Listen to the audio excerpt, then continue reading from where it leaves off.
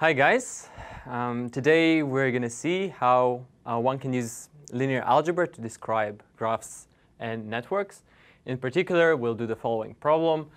We're given this very simple graph here with five nodes and six edges. We've already labeled them and we've put directions on the edges. And we are asked to write down the incidence matrix A and then to compute its kernel and the kernel of A transpose. And finally, we're asked to compute the trace of A transpose A. I'll give you a few moments to uh, try the pro problem on your own, and then you'll see my take on it.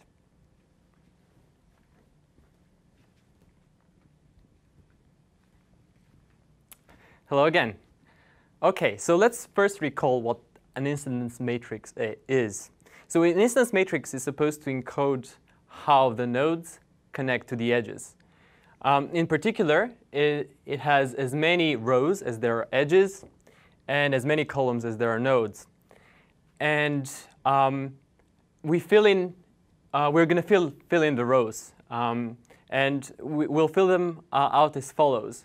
So uh, we're going to use only negative 1, 1, and 0. And we're going to put a negative 1 um, in entry i and 1 in entry j if the edge, the corresponding edge, connects node i to node j. OK, let me just do it concretely. So uh, let's look at edge number 1. So it corresponds to the first row. It connects 1 to 2. So we have a negative 1 and a 1. Um, then edge um, number 2, it connects node 2 to 3, so negative 1, 1. Uh, edge number 3 connects uh, node 1 to 3, so negative 1, 1.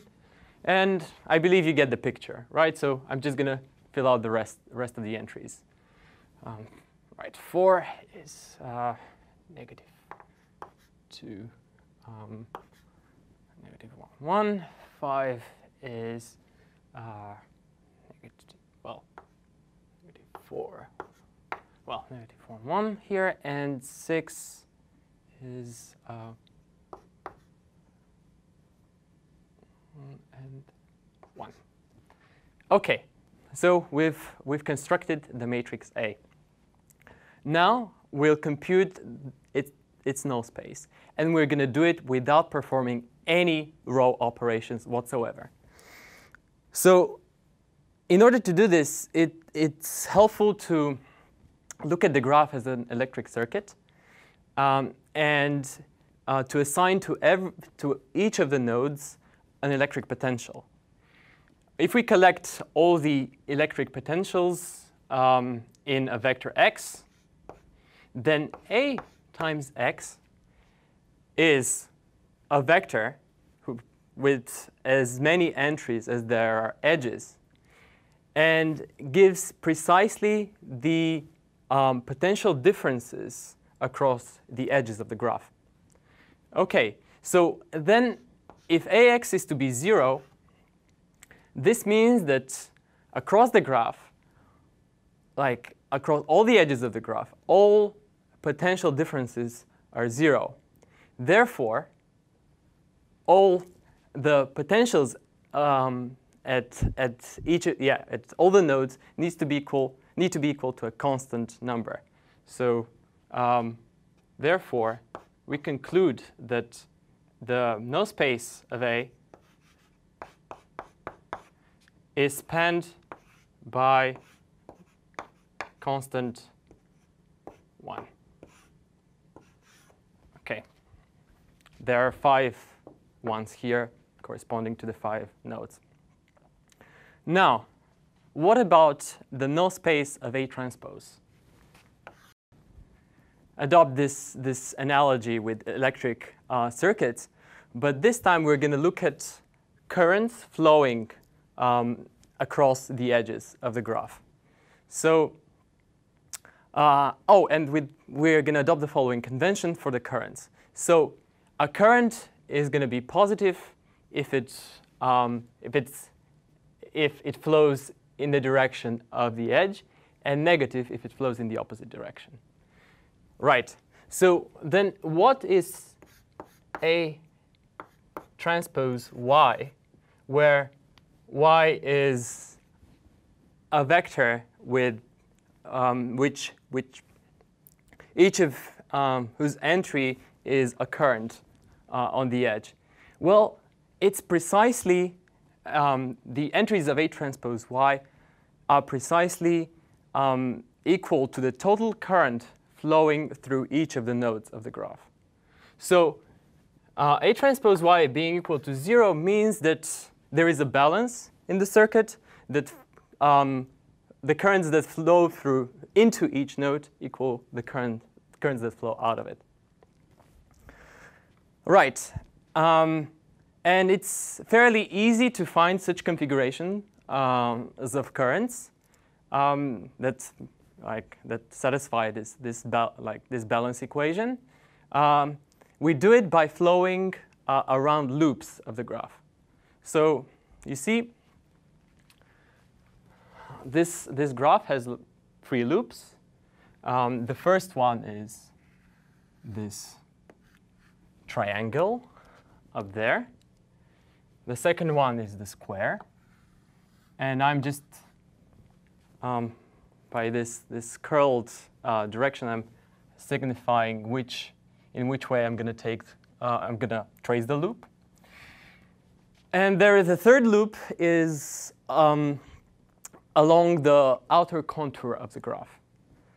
But uh, in fact, the third one can be thought of as a superposition of um, these two, and I'll, I'll explain why in a second.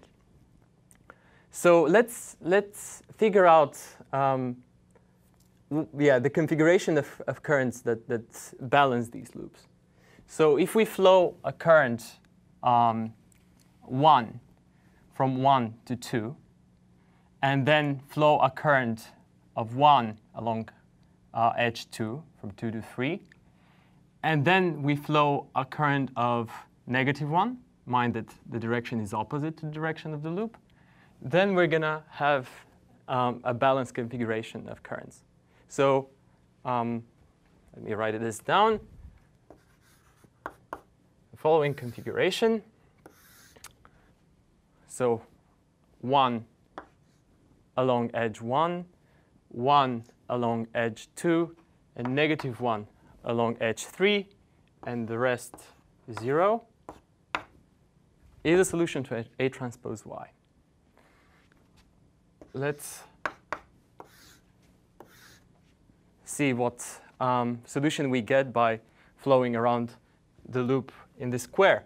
Well, we get um, a 1 along, we flow a, a, current of 1 along edge 4. Uh, current of 1 along edge 5, current of 1 along edge 6, and current of negative 1 along edge 2. So let's be careful.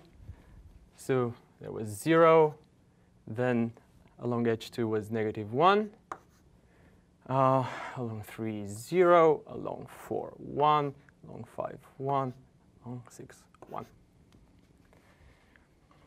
Now we can do the same thing with the, the big loop and produce um, a vector corresponding to it.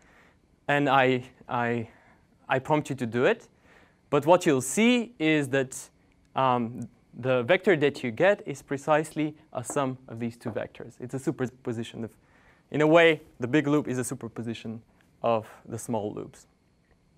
OK, so we figured out what the null space of A transpose is.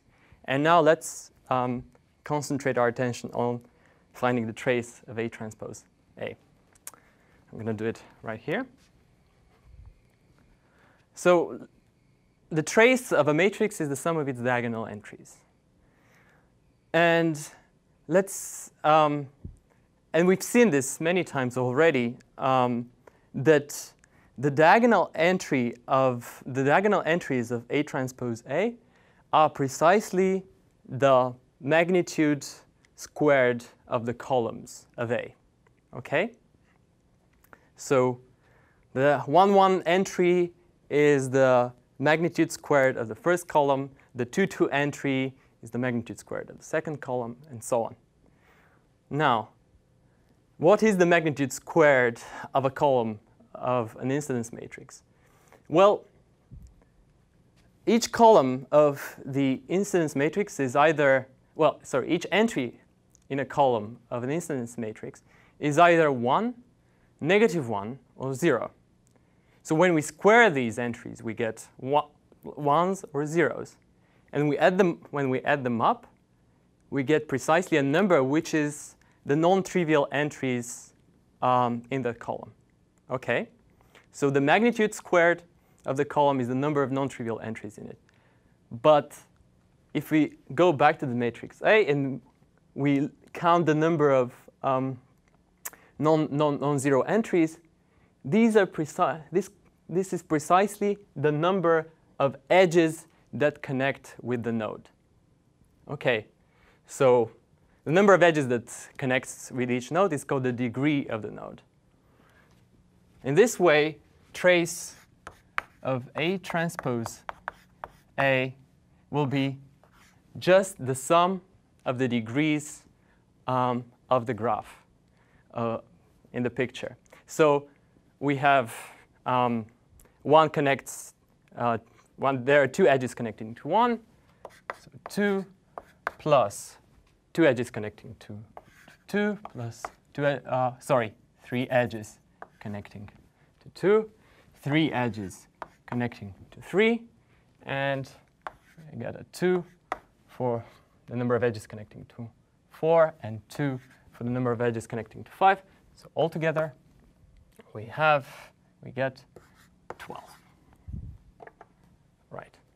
So you see, we in this problem, we computed um, certain linear algebra objects without performing the usual algebraic operations, but just by looking at, at the graph and seeing how the linear algebra is encoded in it. I hope it was somewhat illuminating. Uh, I'll see you next time.